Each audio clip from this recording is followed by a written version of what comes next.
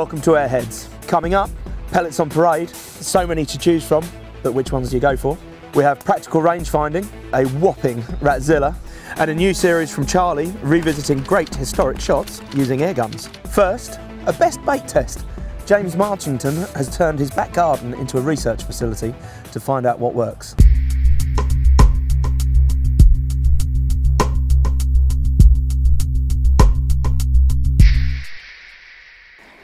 Well, last time I had some success baiting in crows and magpies using eggs from the ducks. So that set me thinking, I wonder what bait would really work, what do they really get attracted to? Well, this time of year, of course, they're nesting, so I thought, well, maybe some nice nesting materials would appeal. So, where do you find nesting materials? In the Hoover bag. Now this stuff's pretty nasty, but there's plenty of dog hair in there and it should appeal to the birds. Pulled out a good wadge and stuck it underneath some chicken wire so it'll hold it down set the trail camera up and left it overnight to catch whatever comes first thing in the morning. Well, during the night, of course, the old Labrador came sniffing around and that's what she thought of it. Oh well. But first thing in the morning, along comes this chap and close behind him, here comes the crow. He's loving that. He's getting a real beakful.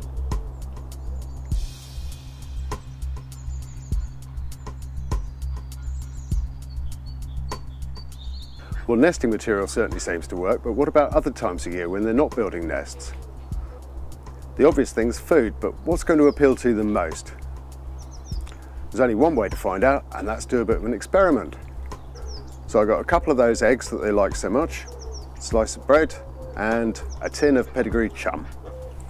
Laid them all out in a line, stand back, see what happens.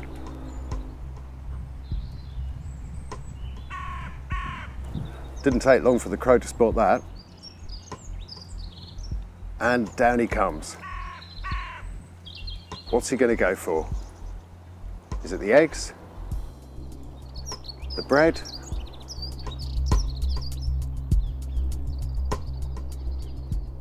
It's the pedigree chum.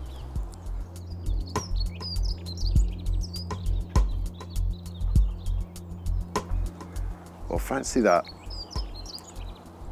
He's really tucking in. And here's his mate, come for a mouthful as well.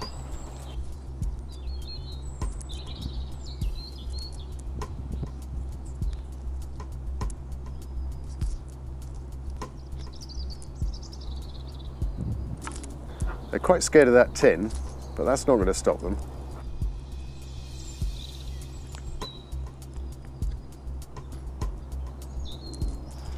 Look at the size of that beak. It's no wonder they can do so much damage to songbirds and livestock like lambs and things. They still like the egg, and they're even interested in the bread, but it's the pedigree chum that's really got them going.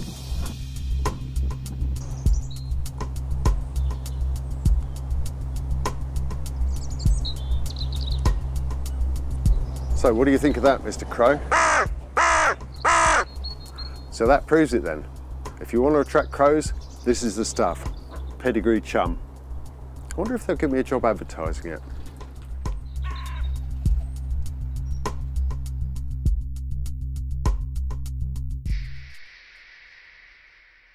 Great shots there, James. Now, from a tasty morsel, we're going to a very stale one. Over to David with hot air.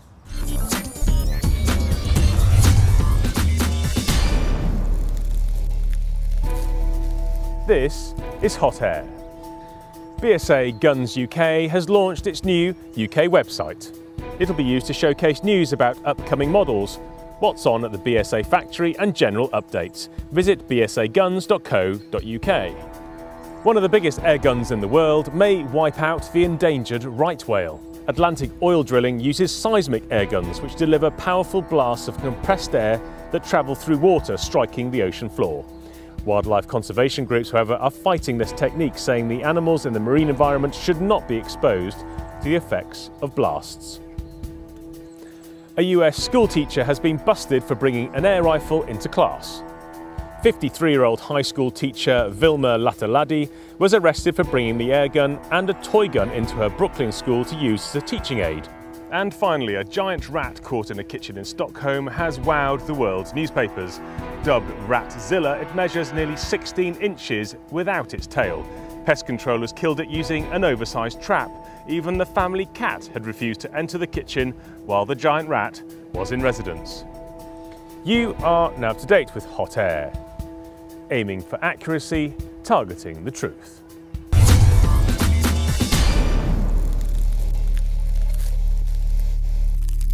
Thank you for that one, David. Now, that was one huge rat. I am certainly never going to Sweden after seeing that. As we know, air gunning requires precise range finding. Now we're off to Tony Belas to give us some tips on how to do it best.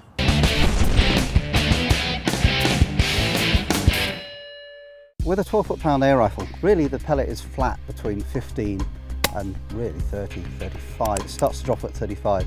And that is usually what we describe as the effective range of a 177 air rifle, 35 yards. So I have the scope set at 27 yards and from my HFT experience I know on uh, 10 power it's clear from around 10 yards out to probably 40, 42 yards and then it starts to lose its focus quite quickly. So I know, depending on the blurriness of the target, pretty much what the range is because 35 yards is still going to be sharp or whether it's getting towards the edge of my effective range. Unless of course I'm shooting from a hide. With a hide I can prepare myself so I have three rangefinders. By far the most accurate is my 50 meter tape measure but always not always the most practical but it does work and you can actually uh, measure out particularly if you're going back to the same point time and time again you can actually peg out different ranges or make mental notes or even do yourself a range card where you can put posts 25 yards poplar tree 35 yards etc onto your uh, range marker. And you could use a simple tape measure. Um, up here in Cumbria you're likely to disappear into a bog and never to be seen again if you use this. So I also have a couple of range finders. I have an MTC and a Bushnell like both um, I have two because I have two and inevitably one of them has a flat battery and you just pick up the other one. And I can range find known objects very quickly. So if I'm in a high position like we were yesterday, where I've never been to before, I can, I'm not too worried about the short stuff, but I can actually go to trees a little bit further out and get my 45 and even 50 yard shots range found. So if something happened over there, I would know and I'd know exactly where to put the scope. You might not be prepared to take that shot until 35 yards, but if you know that the squirrel is currently at 50, it helps you get ready for it. Next, Airgun Centre's Peter Zamit is looking at the extras. Modern air rifles nowadays don't actually come, not very many of them anyway, with open sights. So there are some additional bits of kit that you need to actually get cracking. Basically, you buy a spring rifle, you're going to need one of these things, a telescopic sight um, with a set of mounts to bolt on the top. Um, these things, they start from sort of 60, 70 pounds upwards, and something like this is a middle of the range, um, 120 pounds, something like that. Ideally, if you're out and about, you're going to need a case, um, something like this, 30 to 50 pounds, something suitable for all rifles, come in various lengths, so you get the right sort of length for your rifle. Um, and then, last but not least, on the, on the bare essentials, you're going to need tin of pellets. Um, there's 500, these are 177 Air Arms pellets, something like that. 500 bangs is going to set you back about eight quid, nine pounds, something like that. So tremendous value for money. If you're then going into slightly more serious kit, you buy yourself a pre-charged rifle, you're going to need a method of filling the rifle. Um, especially if you're going to shoot it in your garden. Um, you're going to need to be sort of self-contained, self-sufficient you're going to need either a filling kit, this is a 3 litre 300 bar bottle, or the other option is the Hills pump. This is quite a lot of hard work, but it's lovely because you are actually self-contained with this thing. And you can pump up most pre-charged rifles from empty with this in less than five minutes. Once this is empty, um, you generally charge five pounds to fill it, and a bottle of this size, um, 300 bar, three litre, it's going to give you around about 2,000 shots worth of air. Some other little luxury add-on items once you get more involved into the sport. If you're shooting rabbits with a, with a lamp, um, this is a self-contained um, LED Lenser lamp. Another luxury gadget that we sell quite a lot of these days um, is your, your laser rangefinder. Tripod, bipod or monopod. The bipod that fixes on the rifle. There are some really, really good and effective add-ons once you get involved in the sport. Pellets, like humans, come in all shapes and sizes, some better than others. Now we're off with air gunner and Airgun World's technical editor Phill Price to have a look at some of the more weird examples.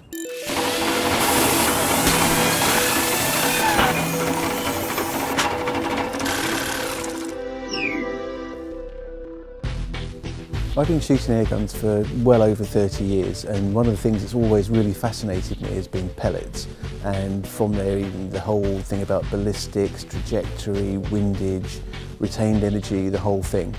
Every now and then you get some fantastic new idea comes along and it seems really really clever and really exciting but I've got some bad news and the news is they don't work. I've tried everything, every single pellet that's ever come along in my 30 year shooting career I've tried them all. In fact, I've got a shelf in my study that I think is going to end up going through the floor quite soon. There must be over 250 tins of pellets in there. Strange pointed ones, multi-ring ones, ones with balls set into them, weird and wonderful shapes, and they just don't work.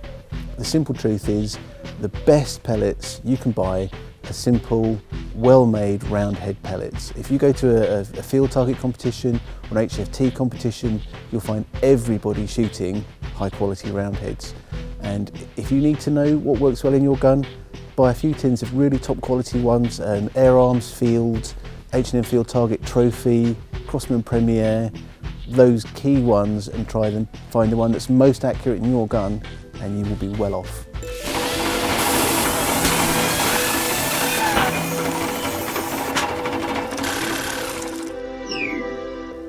Thank you for that one, Phill. Now, somebody else to talk tech with. Charlie has been off doing the maths and is recreating history with air guns.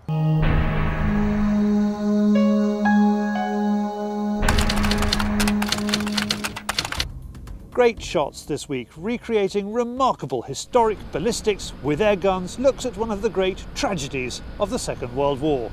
Commissioned in 1920, HMS Hood was the pride of the Royal Navy and of Britain. At the outbreak of war, she worked knocking out blockade runners between Iceland and the Norwegian Sea. She took part in the destruction of the French fleet at Mers el Kabir and in May 1941 was sent to hunt down the Bismarck and the Prinz Eugen. Bismarck hit the Hood with its fifth salvo at a range of 16,650 metres, just over 10 miles. This is a contemporary film from one of the German ships. Hood sank with 1,418 men aboard only three British sailors survived. The 15-inch shells hit one or more of the aft magazines. The Admiralty communique called it an unlucky hit.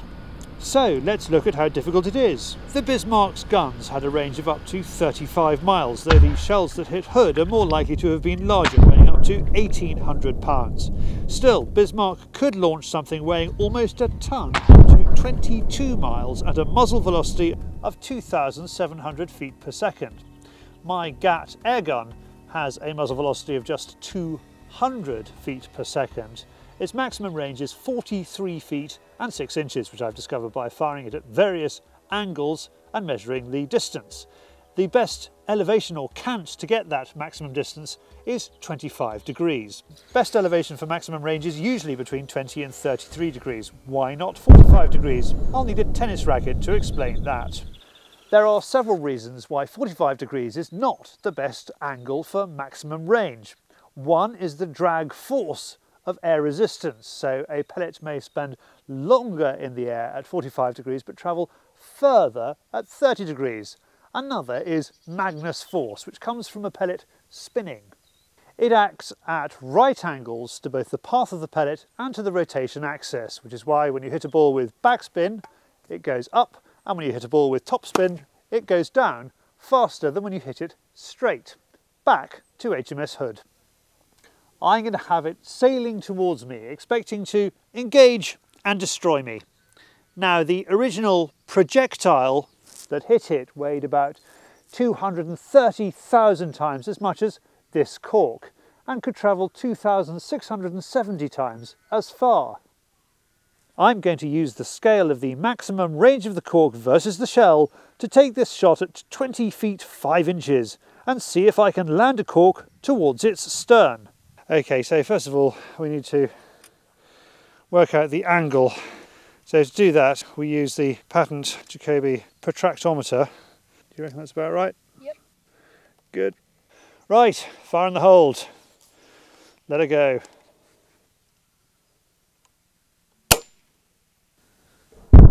Oh, not bad. Went slightly beyond HMS Hood. I mean, in uh, original naval terms, that was about 15 miles, that shell.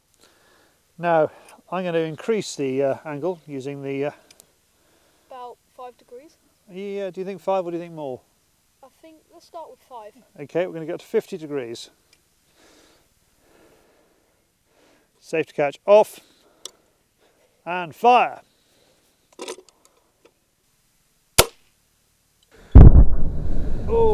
No, still about 13 miles. I think we're going to, have to put, I think we're going to have to add another 10 degrees. Okay. Okay, fire when you're ready.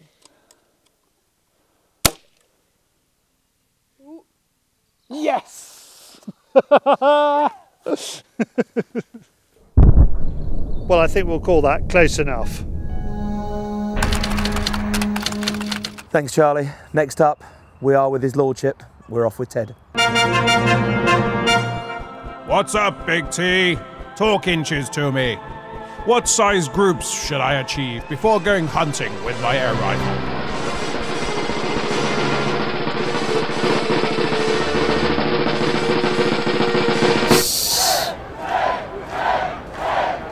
three quarters of an inch. Three quarter inch means that your weapon is reliable. And I'm not gonna ever tell some kid you gotta be shooting quarter inch groups at 20 yards. His spring gun isn't gonna do it and his skill set isn't gonna do it. So what am I gonna do? Tell him not to go out pest controlling until he can achieve the levels that, you know, uh, uh, uh, at least a, a modestly good shooter can do? No. I know I couldn't do half inch groups at that age. And I went out anyway. So once again, Charlie, we're back to the exact same place where I have to say, do I have the right to judge some kid for doing something that I was incapable of doing at that age too? Three quarter inch groups at 20 yards, you got your act together, go out and shoot something. Fantastic once again. Here are a few more reasons to stay watching YouTube. We're off with air streaming.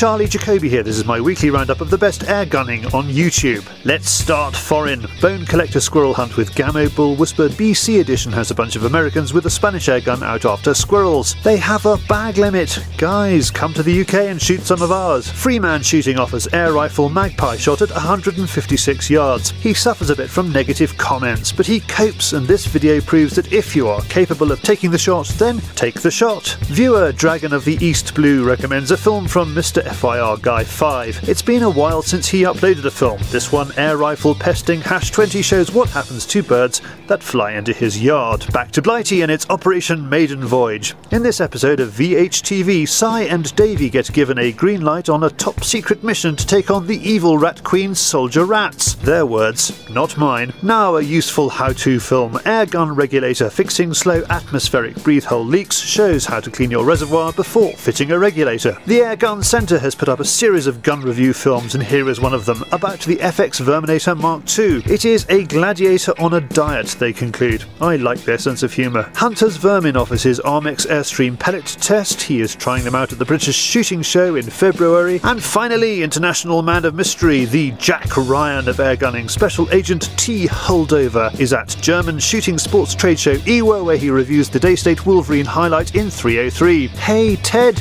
you should have said. Click on the links to watch the videos or you will find them in this film's description. If you would like to send in a video for air streaming, ping me the link, charlie at fieldsportschannel.tv. Sadly, that's the end of the show for this week. We'll be back in two weeks. Catch up with you then.